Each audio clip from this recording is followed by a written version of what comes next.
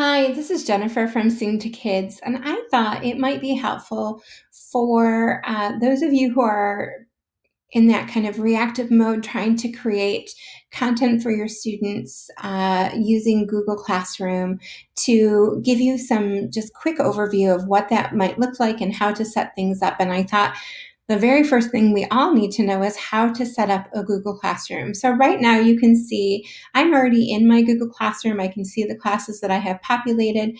If you've never done this before, you're logged into your Google account. And if you see the little waffle in the upper right hand corner, you're going to click on that and you'll see an icon that says classroom. If you don't see it, scroll down until you see it. You can click on it and move it around. So if you want to have that up higher in your menu, you're welcome to do that. But when you click on that, all that happens is that screen that you just saw is populated. Right next to your waffle is a plus sign, and that's where you're going to create your class. Now, one of the things I'd really like you to think about is if you're new to all of this, you might start with the question of how do I want to organize my class? Do I want to have one Google Classroom for the entire fifth grade, or do I want to have one Google Classroom for each teacher in that grade level? So, for instance, I have a fifth grade um, Google Classroom for each one of my uh, classroom teachers in fifth grade, fourth grade, and third grade. That's something we had established prior to uh, all of this that's going on in the world. And so, uh, the the neat thing about that is I can kind of keep that that group private and have conversations within Google Classroom with my students. Um, the challenging thing is that when I create assignments, I have to go in and create the assignment into every single classroom. And uh, having one for just one grade level, then you could just go in and do the assignment for that grade level, which makes things a little bit easier. Uh, the other thing you might consider is that if you uh, do not have Google Classroom set up, but may, perhaps your classroom teacher has it set up, you might ask to become an admin on their page. And the lovely thing about that is that you can go in and create assignments under a topic on their page without having to get kids to come to your own Google Classroom. And I have done that with my second grade teachers down here so that I can go in and push information into them and give assignments through their pages. And uh, it just makes life a little bit easier because those little ones don't need three and four Google Classrooms to go and, and kind of sort through information and assignments and things like that. Having it all in one central location, both for the students and the parents. And I'm a parent, I'm telling you, my child has four Google Classrooms that he has to keep track of.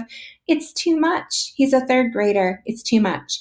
So, uh, doing it that way is also a really nice thing. Just asking that classroom teacher if you can be an admin and just add in your assignment each week is a nice thing to do.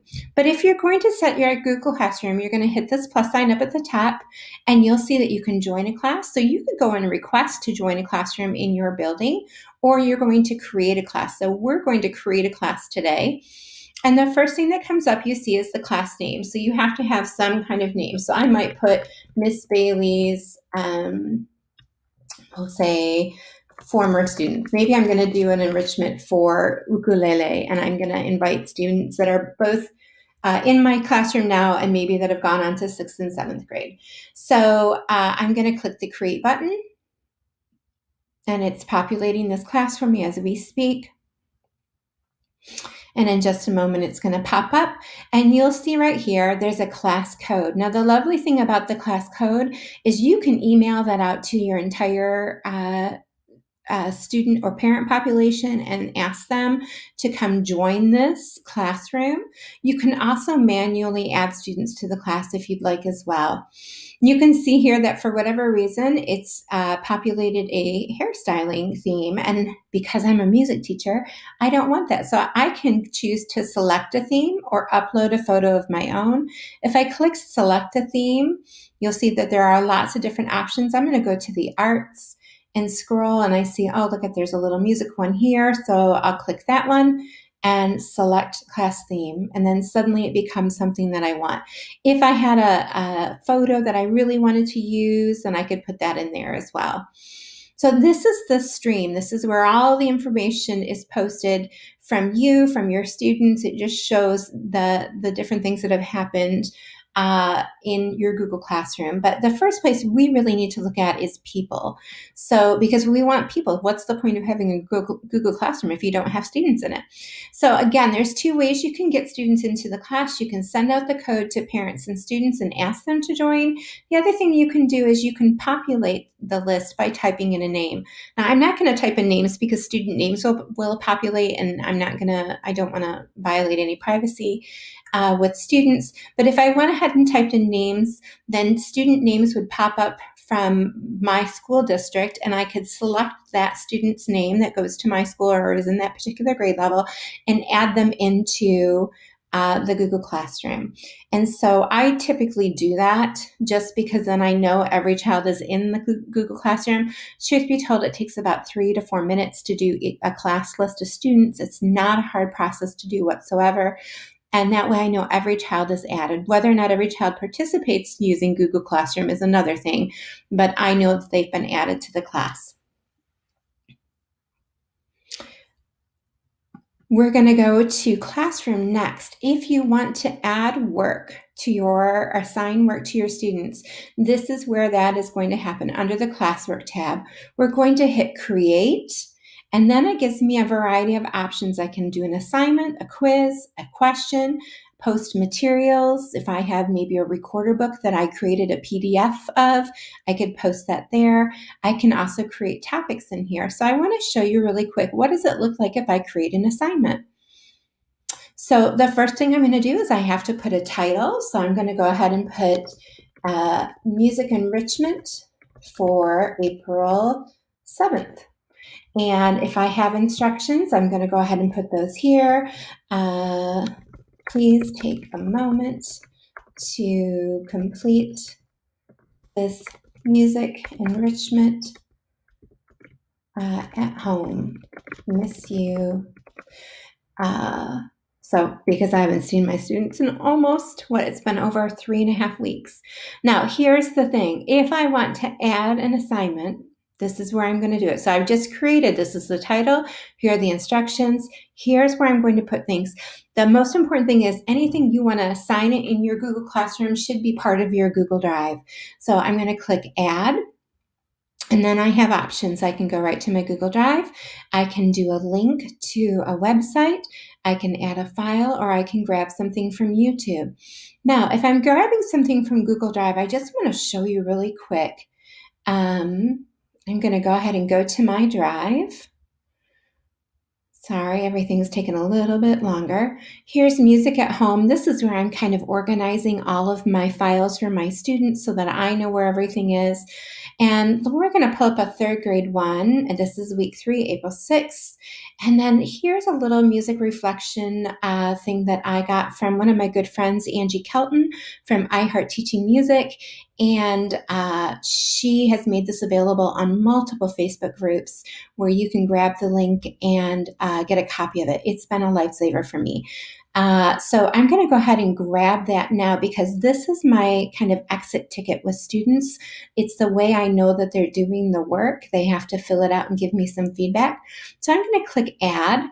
But here's what I want you to know because I'm assigning this and I want to get feedback from every single student in my classroom, you see down here it says students can view file that's fine, but then they can't really do the work of what I want them to do. So I'm going to click down here and it says students can edit. I really don't want them to edit that file. I want them to each have their own copy. So do you see where it says make a copy for each student? I'm going to click on that because I want them to each have their own copy that they can mark up, give feedback, write to me. So if you're using any of my Google um, uh, resources from Teachers Pay Teachers. This is how you assign those to students. So every student has their own copy of the uh, activity to use in their uh, music learning. So if you're using Rhythm Rabbits or Spring Rhythms, whatever those things are, you're going to go in here and make a copy for each student. Now, there were other things I wanted to add to the folder, and I'm going to go ahead and do that now. But if I'm going to assign something for each student, I have to do it uh, by itself, so it has to be a standalone ad, and then I have to make a copy for each student. If I go back here and I want to grab more things out of that folder, I'm going to click on my drive again. I'm going to go back to that third grade folder. And you can see that here I had a little PDF that I wanted to do, and I had a little movie for them to watch. This particular movie I have in my Google Drive. If I had it as a YouTube clip, I could grab it and, and do that too. But if I hold the shift button and press down these two files, now I can add both of those files at the same time. And uh, again, I can go in and say I want them to view it or I want to make a copy or what have you. So uh, these are things I just want them to be able to view, not manipulate or do anything. Uh, in my district right now, we're doing enrichment or reteaching concepts. So we're not doing grades. So I'm going to go ahead and take this and make it an ungraded assignment. The due date, I would kind of like them to have it done by the end of the week. So I'm going to put the 10th as a due date. The topic, here's where I'm going to create a topic. And this is where I want you to know if you're working in your classroom teacher's Google Classroom, this is where I might go put music or music art. Boy, I think I could spell that. Music, art, and PE if you're doing like a specials tab, or if I'm doing um, just a regular thing like this is my distance learning. So uh, I will put that under that topic. Um, and when I'm all done, I'm going to go ahead and click assign and you can see it's assigning this and we'll give it just one more moment.